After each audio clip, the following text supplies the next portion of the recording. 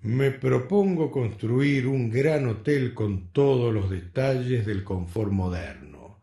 Quiero agregar a este edificio un centro de diversiones que atraerá seguramente una enorme clientela.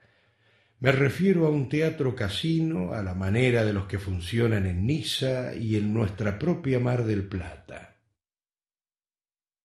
Concédase al señor Faustino da Rosa o a la compañía que éste formare por el término de treinta años la autorización necesaria para hacer funcionar en esta ciudad un hotel, un casino y un teatro en las condiciones y formas a que se refiere su solicitud.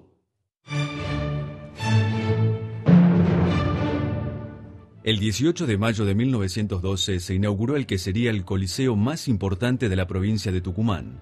Hasta 1951 se lo conoció con el nombre de Teatro Odeón, año en el que por una ley provincial se lo bautizó con su nombre actual.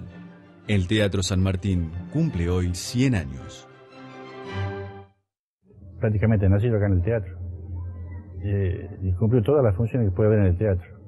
Al teatro lo tienen que amar porque este es, nuestra, este es verdaderamente nuestra segunda casa. Luis F. Nugués, hombre visionario, gobernaba la provincia de Tucumán.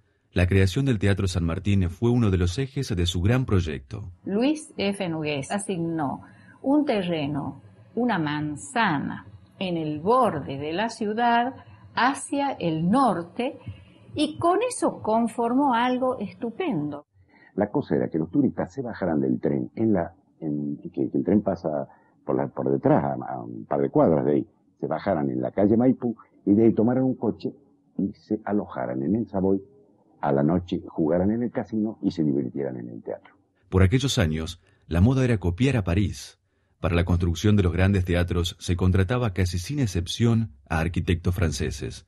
Émile Huget y Vincent Colmegnat fueron los responsables de darle estilo al conjunto edilicio del Teatro San Martín. Es un estilo eh, que puede caracterizarse como neoclasicismo y que está manifiestamente demostrado a través de la lectura de los planos, eh, sobre todo de la planta. Hacia el año 1916, Faustino da Rosa se aleja de la compañía que gerenciaba y deposita sus acciones en el Banco Francés del Río de la Plata. Ahí es que se produce ese, gran statu quo que determina que el teatro estuviera cerrado todos esos años, hasta que la provincia lo compra en, en, el 45, en las últimas etapas de la, de la este, intervención federal de la Revolución 43, antes de las elecciones.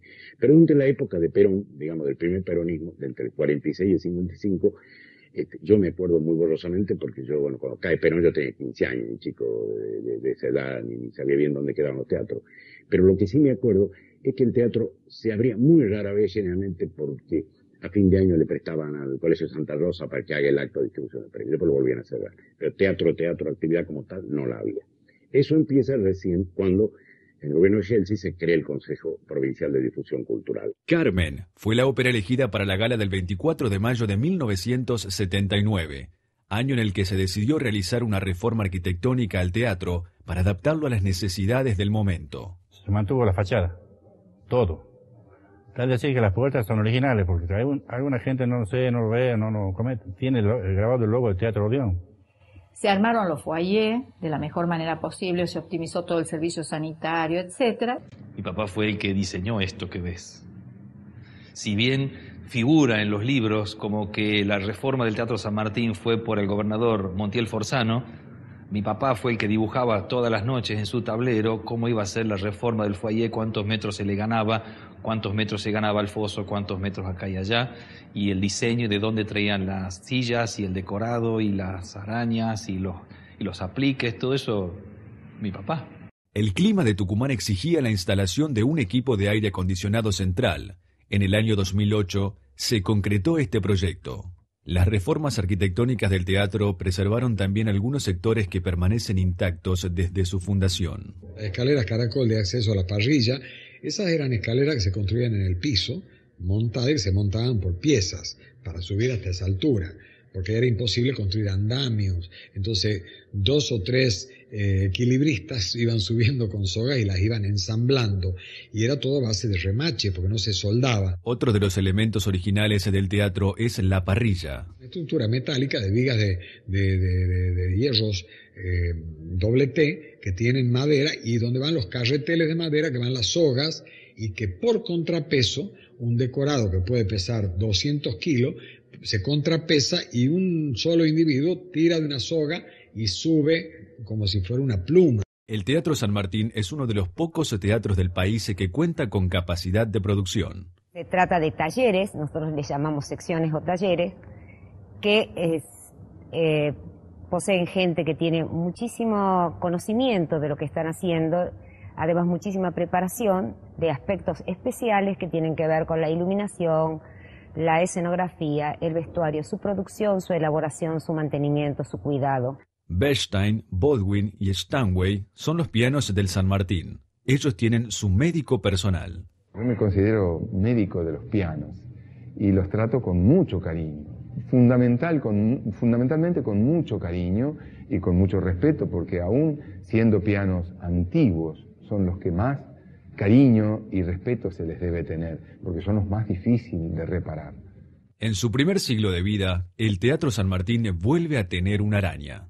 Este regalo de la gestión de este gobierno es un gran paso adelante, porque nuevamente el Teatro San Martín vuelve a tener la araña coronando su cúpula.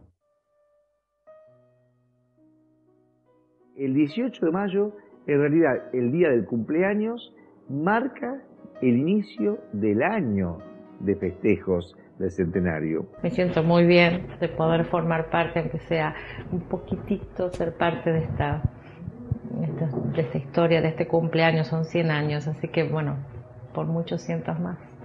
Los teatros modernos no son como San Martín.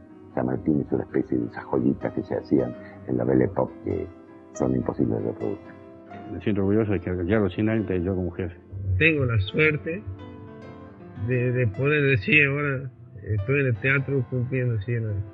No me imagino eh, cómo podría ser una provincia como Tucumán sin un teatro como el San Martín, sin un teatro como el Alberdi, sin los centros culturales que tenemos. Este, no me lo imagino. Es parte de la historia.